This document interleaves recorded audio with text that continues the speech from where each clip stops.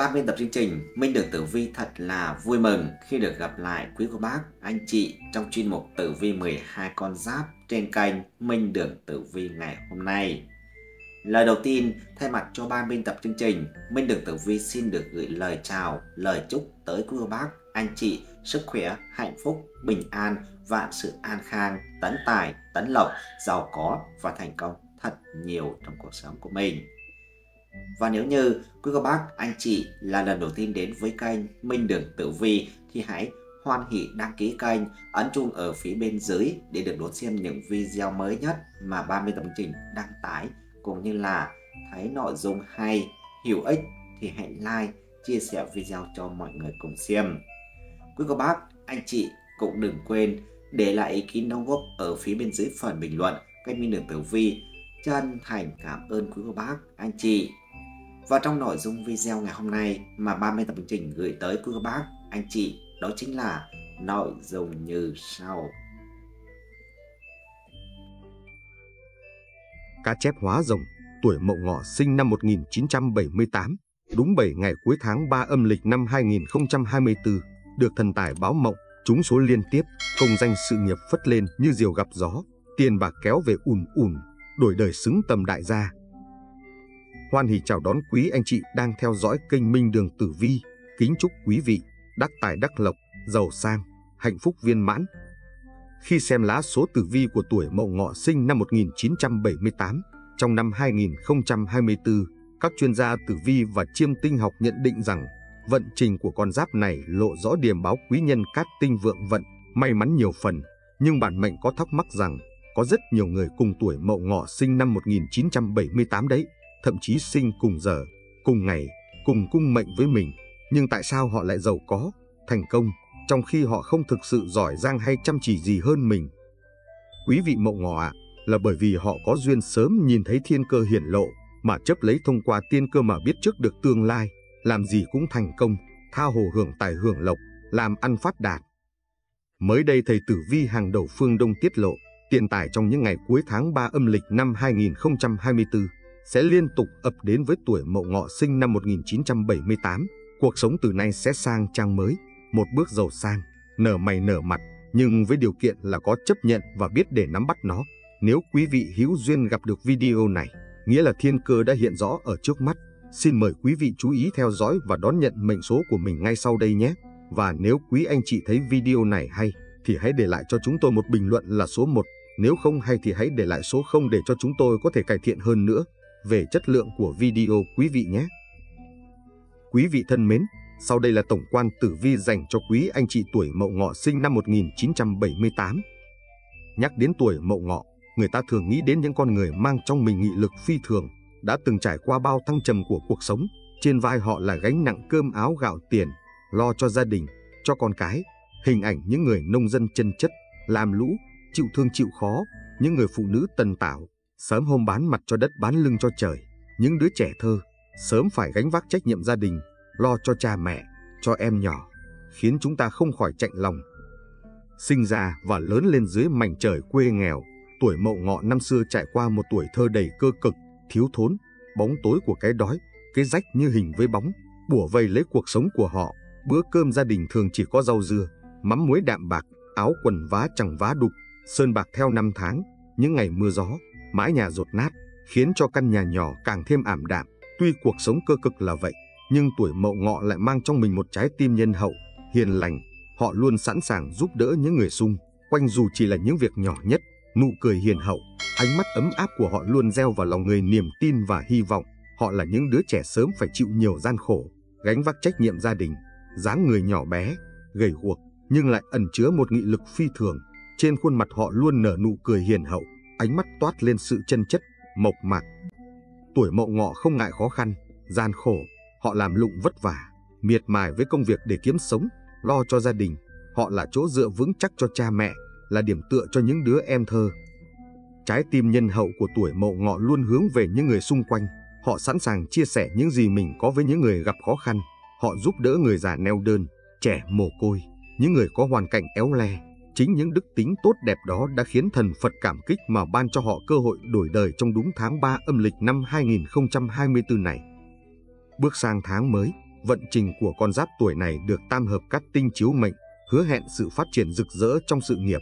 Đây là thời điểm lý tưởng để bạn dốc sức thực hiện những mục tiêu và dự định đã ấp ủ từ lâu. Con đường học tập, thi cử cũng vô cùng thuận lợi, mang đến những thành tích đáng khích lệ. Bên cạnh đó, các mối quan hệ xã giao hài hòa cũng góp phần tạo nên sự suôn sẻ trong mọi việc. Bạn dễ dàng nhận được sự giúp đỡ, hỗ trợ từ những người xung quanh, giúp bạn giải quyết những khó khăn một cách nhanh chóng và hiệu quả. Sự hăng hái và nhiệt huyết của bản thân cũng được khơi dậy mạnh mẽ trong tháng này. Bạn tràn đầy năng lượng để thử thách bản thân, dấn thân vào những dự án mới và gặt hái những thành công vang dội. Tuy nhiên, bên cạnh những thành công rực rỡ, bạn cũng cần cẩn trọng trước những kẻ tiểu nhân ganh ghét, đố kỵ, ngũ quỷ hung tinh cảnh báo bạn cần đề phòng những lời ngon ngọt, nịnh hót giả tạo. Có thể kẻ xấu đang cố tình khiến bạn mất tập trung, dẫn đến những sai lầm trong công việc. Hãy giữ cho mình sự tỉnh táo và sáng suốt, phân biệt rõ ràng giữa kẻ tốt và kẻ xấu, nỗ lực hết mình, kết hợp với sự cẩn trọng và tinh thần cảnh giác cao độ, bạn sẽ có thể gặt hái được những thành công to lớn trong tháng này. Người làm công ăn lương, dù đạt thành tích cao cũng chớ nên kiêu ngạo, gạt bỏ ý kiến nhận xét, góp ý của người ngoài. Bạn cần nhận ra rằng, những người chân thành chỉ ra khuyết điểm cho mình chính là thầy của mình đấy. Đế vượng cho thấy, bạn là người hăng hái, tích cực, không sợ khó khăn, chắc chở. Nếu đứng ở vị thế lãnh đạo, bạn hoàn toàn có thể truyền cảm hứng cho người khác, dẫn dắt mọi người đến thành công. Trên phương diện tình cảm, tháng mới hứa hẹn mang đến nhiều niềm vui và hạnh phúc cho những người đã lập gia đình. Dưới ảnh hưởng của đế vượng cát tinh, bạn sẽ được tận hưởng bầu không khí ấm áp, ngọt ngào và lãng mạn bên người thương yêu. Gia đình chính là điểm tựa vững chắc, nơi bạn luôn tìm thấy sự bình yên và niềm tin vào cuộc sống. Chuyện tình cảm cũng đóng vai trò như một động lực lớn lao, thúc đẩy bạn nỗ lực và cố gắng hơn nữa trong sự nghiệp. Năng lượng tích cực từ gia đình và người bạn đời sẽ tiếp thêm sức mạnh cho bạn chinh phục những mục tiêu cao hơn. Tuy nhiên, bên cạnh những điều tích cực, bạn cũng cần lưu ý đến sự xuất hiện của hung tinh ngũ quỷ. Đây là lời cảnh báo về những kẻ tiểu nhân có thể xuất hiện xung quanh bạn với mục đích không lành mạnh. Họ có thể là những người ghen tị với hạnh phúc của bạn và tìm cách phá hoại mối quan hệ của bạn. Hãy giữ cho mình sự tỉnh táo và sáng suốt để nhận biết những kẻ xấu xa này, tránh xa những lời ngon ngọt, nịnh hót giả tạo và không nên chia sẻ những thông tin cá nhân quan trọng với những người không đáng tin cậy. Sức khỏe của bản mệnh khá tốt trong tháng này, nhờ vậy mà bạn luôn hăng hái, nhiệt tình mỗi khi bắt tay vào công việc. Hãy chú ý rèn luyện sức khỏe, ăn uống và nghỉ ngơi điều độ để bản thân có thể luôn khỏe khoắn, ngập tràn sức sống. Một số người có thể bỏ bê việc nghỉ ngơi và rèn luyện thể dục thể thao vì công việc quá bận rộn. Việc này về lâu về dài sẽ ảnh hưởng đến sức khỏe. Bạn nên sắp xếp lại thời gian biểu của mình, sao cho công việc không bị trì trệ, trễ nải, mà bản thân vẫn có đủ thời gian để nghỉ ngơi. Đế vượng cho thấy, một số người có thể vượt qua được bệnh tật, lấy lại phong độ cho bản thân mình. Sau khi trải qua bệnh tật, hẳn bạn cũng đã nhận ra được tầm quan trọng của sức khỏe và chú ý giữ gìn hơn trước đó. Tiếp theo là nội dung tử vi chi tiết từng phương diện. Về phương diện tài lộc, xem tử vi nhận thấy rằng trong 7 ngày cuối tháng 3 âm lịch, vận trình có hung có cát, có suôn sẻ có chắc trở với người tuổi mậu ngọ. Bởi vậy, dù công việc có chiều hướng phát triển tốt là thế, song vận trình tài lộc của tuổi này có xu hướng giảm, kém sắc hơn so với tháng trước. Hung tinh tiểu hao xuất hiện, báo hiệu những nguy cơ tiềm ẩn về hao hụt tiền bạc, nguồn thu nhập không dồi dào, trong khi mức chi tiêu lại có phần vượt ngưỡng cho phép, khiến bạn dễ rơi vào tình trạng túng quẫn. Dù nỗ lực cật lực kiếm tiền, nhưng thành quả thu được chưa hẳn như mong đợi, tài vận không lý tưởng, kinh doanh buôn bán gặp nhiều khó khăn do sức cạnh tranh gay gắt. Tuy nhiên, so với những người kinh doanh quy mô lớn, những người kinh doanh nhỏ lẻ sẽ ít bị ảnh hưởng hơn. Đây là thời điểm không thích hợp để mở rộng kinh doanh hay đầu tư quy mô lớn, bởi kế hoạch có thể gặp nhiều bất chắc và đổ bể. Nguồn thu nhập chính từ công việc vẫn là điểm sáng trong bức tranh tài lộc của tuổi ngọ tháng này.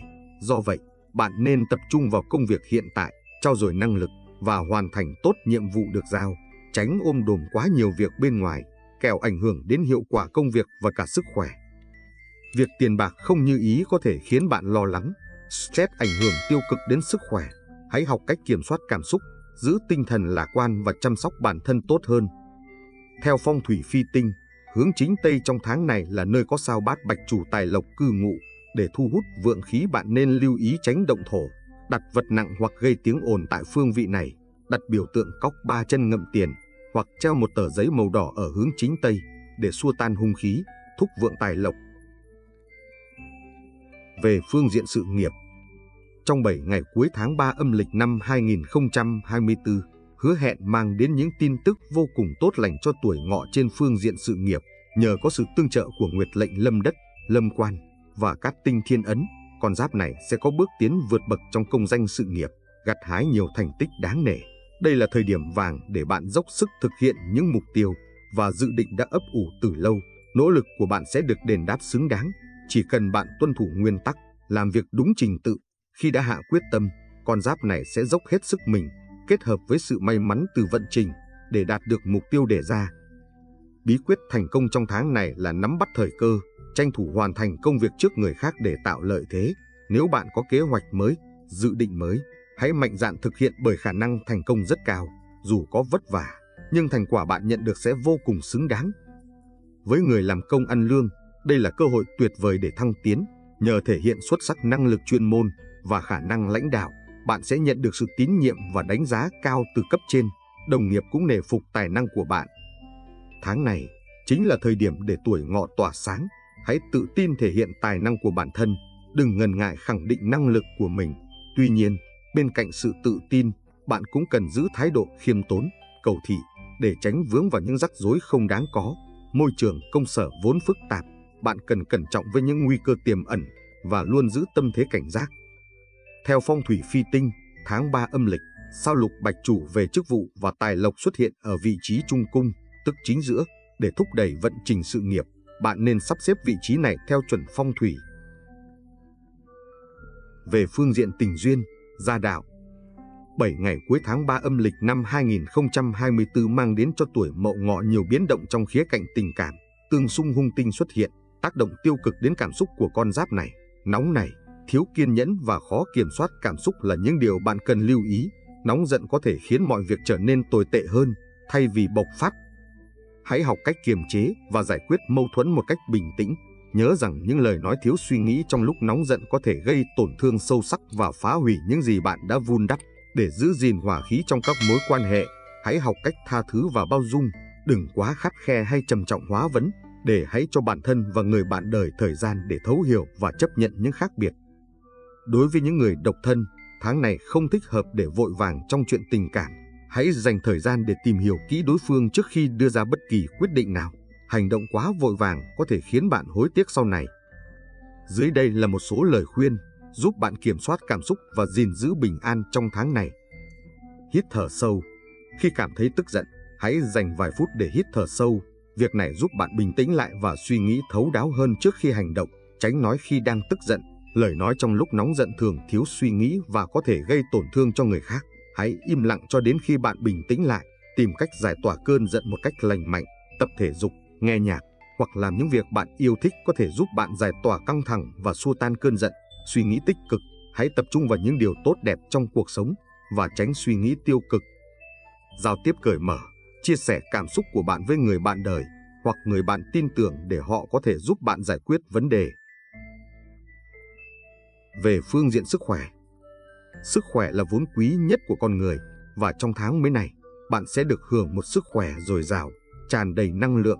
Nhờ vậy, bạn luôn hăng hái, nhiệt tình và sẵn sàng cho mọi thử thách trong công việc và cuộc sống.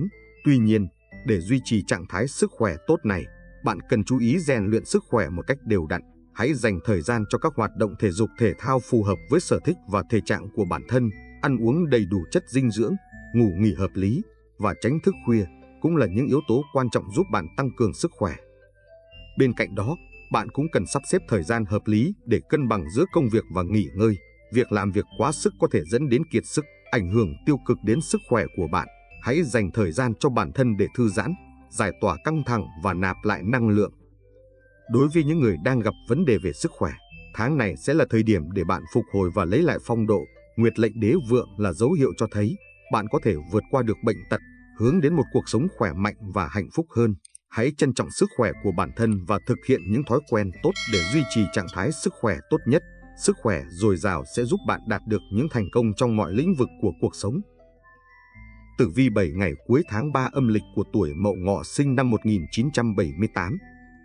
Vận trình sự nghiệp được thất sát sinh vượng, nên thuận lợi.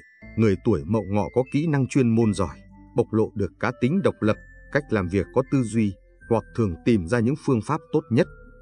Nên, dù có gặp khó khăn hay thiên la địa võng răng lối, thì người tuổi mậu ngọ vẫn trở nên kiên cường, mạnh mẽ, bạn làm việc có chủ kiến và lý trí, nên dễ dàng đạt được thành tựu đáng kính nể. Theo tử vi về mặt tài vận, người tuổi mậu ngọ nhờ trí tuệ mà thu về nhiều lợi ích to lớn với các chi tiêu tiết kiệm, biết tiết chế lúc cần thiết mà thu nhập của người tuổi mậu ngọ dần ổn định. Ngoài ra, bạn cũng có thêm tinh thần quả cảm, một lá gan mạnh mẽ, dám làm, dám quyết, nên ít khi bạn bỏ lỡ cơ hội tốt để nâng cao về tài chính. Người tuổi mậu ngọ làm việc lại thông minh, lanh lợi, nên bạn xoay sở về tài chính cũng rất giỏi. Trong chuyện tình cảm, người tuổi mậu ngọ là người luôn muốn che chở và bảo vệ người khác. Bạn vô cùng nhiệt tình và hòa đồng, nhưng nếu mối quan hệ xảy ra mâu thuẫn, gây hấn với người thân, thì người tuổi mậu ngọ sẽ trở nên vô cùng dữ tợn. Thời gian này, sức khỏe của người tuổi mậu ngọ phụ thuộc vào tiết khí, tiết khí khởi đầu một năm mới, cây cối tươi tốt phát triển, mộc khí vượng, nên khắc chế tỳ thổ trong cơ thể con người. Do vậy, thời gian này, để đảm bảo sức khỏe, người tuổi mậu ngọ cần tránh ăn đồ có vị chua, ăn tăng vị cay, ngọt, giúp dương khí tăng phát, vị ngọt bổ cho tỳ vị, giúp cân bằng ngũ tạng, âm dương điều hòa, đảm bảo sức khỏe cho bạn. Vị chua sẽ làm ngũ hành mộc càng thêm vượng, mà khắc chế tùy gây ảnh hưởng tới tính năng vận chuyển và chuyển hóa thức ăn của tạng tỳ, khiến sức khỏe của người tuổi mậu ngọ giảm sút. Quý nhân là tuổi ngọ, tuổi tuất. Tiểu nhân là tuổi thân, tuổi mão. Màu sắc may mắn là màu đỏ, màu trắng. Con số phát tài là số 76, số 25 và số 14. Quý vị thân mến, sau đây là 7 dấu hiệu chứng tỏ bạn sắp giàu, người tuổi mậu ngọ nên biết sớm, giàu sớm. Thứ nhất là tin vào quy luật thu nhập. Người giàu tin rằng tiền họ làm ra phản ánh đúng những giá trị bản thân mang lại cho thị trường. Nói cách khác, nếu tập trung tạo ra được một sản phẩm mà ai cũng cần, muốn, họ sẽ được trả công xứng đáng. Ví dụ như câu chuyện về người phát minh ra gương chiếu hậu có khả năng tự động làm mở, sản phẩm xuất hiện trên hầu hết các xe ô tô tại Mỹ. Liệu anh ta có xứng đáng được trả 15 đô la Mỹ cho mỗi giờ bỏ ra sáng tạo sản phẩm này? Hay là bởi sản phẩm thành công tuyệt đối, anh ta nên nhận được một phần cho mỗi chiếc bán được? Chắc hẳn trường hợp thứ hai sẽ hợp lý hơn cả. Người nghèo tin rằng chúng ta nên được trả lương như nhau, bất chấp sản phẩm mỗi người làm ra là khác nhau. Với tư tưởng này, sự cải tiến sẽ chẳng thể tồn tại. Người nghèo thì vẫn cứ nghèo, và nguy hiểm hơn là việc những người khác cũng sẽ nghèo như họ. Thứ hai là tập trung vào cơ hội chứ không phải khó khăn. Ngày xưa, có một người bán giày tha phương, cố gắng bán những đôi giày cho người bản xứ. Vấn đề duy nhất ở đây là chẳng ai ở đó đi giày, vì vậy việc bán hàng rất khó khăn. Không lâu sau, người bán giày bỏ cuộc và quyết định rời nơi đó. Trên đường rời đi, ông gặp một người bán giày khác. Đừng mất công vào thị trấn này làm gì? Người thứ nhất nói. Những người dân ở đó thậm chí còn chẳng đi giày. Đôi mắt của người thứ hai chợt sáng lên, không ai đi giày. Vậy là tôi có thể bán giày cho tất cả mọi người ở đó. Thật là may mắn khi tìm được một thị trường mới mẻ. Mấu chốt vấn đề chính là góc nhìn. Người nghèo thường nhìn thấy chứa ngại vật và nhanh chóng bỏ cuộc. Trong khi đó, người giàu nhìn ra cơ hội và dám thử những gì người khác không dám làm. Thứ ba là không chạy theo xu hướng đám đông. Sự khôn ngoan bình thường chỉ đem lại những kết quả bình thường. Chạy theo đám đông, dù là rất thịnh hành hay là một cơ hội tốt chỉ là công thức của sự tầm thường. Những người thành công vang dội có thói quen làm những việc người khác sẽ không làm. Họ đến những nơi người khác sẽ không đến vì ở đó có ít cạnh tranh và nhiều cơ hội để thành công. Thứ tư là bắt đầu từ lúc kết thúc. Thành công bình thường vì bạn chỉ đặt các mục tiêu trung bình. Hãy quyết định điều bạn thực sự muốn là người tốt nhất, nhanh nhất, rẻ nhất, lớn nhất và đặt mục tiêu để biến những điều đó thành sự thực. Quyết định cả việc bạn muốn kết thúc ở đâu. Đó chính là mục tiêu của bạn. Mục tiêu lớn, thành công lớn, bạn sẽ có những kết luận tốt hơn và cảm thấy dễ chịu hơn khi phải làm việc chăm chỉ hơn. Thứ năm là biết quản lý thời gian. Quản lý thời gian là một điều kiện cần thiết cho sự thành công lâu dài và khả năng sử dụng thời gian hiệu quả là một dấu hiệu của người thành công. Hãy tự hỏi mình rằng bạn có khả năng xử lý nhiều việc với khoảng thời gian bạn có mỗi ngày không để biết bạn có thành công hay không nhé. Thứ sáu là kết giao với những người tích cực và thành công. Người giàu hiểu rằng thái độ có vai trò rất quan trọng. Nếu họ cứ kết giao với những người luôn phàn nàn về thời tiết, phản đối chính phủ, kêu ca về nền kinh tế, thì sớm muộn chính họ cũng sẽ hình thành những thói quen đó. Ngược lại, nếu kết giao với những người thường nói về thành công, cơ hội hay những điều tích cực trong cuộc sống, nhiều khả năng họ sẽ nhìn nhận thế giới theo một góc độ hoàn toàn khác. Thay vì nghĩ về thế giới xung quanh như một nơi tồi tệ, người giàu nhận thấy đó là một mảnh đất phát triển, đầy thành công và cơ hội. Một ví dụ điển hình là người dân Mỹ với những người nhập cư vào Mỹ. Những người nhập cư vào Mỹ có khả năng trở thành triệu phú cao gấp 4 lần so với dân bản địa. Lý do chính là bởi trong khi người bản địa chỉ tập trung nói xấu về cuộc sống ở Mỹ, người nhập cư nhìn nhận đất nước này như một mảnh đất đầy cơ hội. Thứ bảy là luôn học hỏi và phát triển. Ngày ấy nhiều trẻ em nghĩ rằng chúng chỉ việc học thật giỏi để kiếm tấm bằng rồi sau đó sẽ chẳng phải đụng đến sách vở nữa. Dự định này có thể thực hiện được, tuy nhiên điều đó cũng có nghĩa là chúng sẽ mãi nghèo. Người giàu coi trọng tri thức vì họ hiểu rằng học hỏi càng nhiều, khả năng thành công càng tăng. Một triệu phú trung bình mỗi tháng đọc một quyển sách phi hư cấu, bởi họ muốn hoàn thiện bản thân cũng như trở thành con người mà họ ước ao trở thành. Một người rỗng túi chẳng đọc gì cả và mãi không bao giờ thay đổi. Người giàu luôn học hỏi và phát triển, còn người nghèo thì nghĩ họ biết đủ rồi. Vâng, quý vị thân mến, trên đây là những chia sẻ rất tâm huyết đến từ ban biên tập chương trình về tử vi 7 ngày cuối tháng 3 âm lịch năm Giáp Thìn 2024 cho người tuổi Mậu Ngọ sinh năm 1978. Minh Đường Tử Vi rất mong rằng quý vị tuổi Mậu Ngọ sẽ đón nhận được nhiều may mắn trong tháng mới và làm giàu cho bản thân mình, cho xã hội. Xin chân thành cảm ơn quý vị đã quan tâm và theo dõi chi tiết hết video. Mọi ý kiến đóng góp và thông tin cần được tư vấn hỗ trợ, vui lòng comment ở bên dưới và bình luận. Ban biên tập chương trình sẽ tư vấn và giải đáp miễn phí trong thời gian sớm nhất. Minh Đường Tử Vi kính chúc quý vị luôn mạnh khỏe, hạnh phúc, giàu có và thành công hơn nữa trong cuộc sống của mình. Chương trình đến đây là hết. Xin chào và hẹn gặp lại trong những video tiếp theo.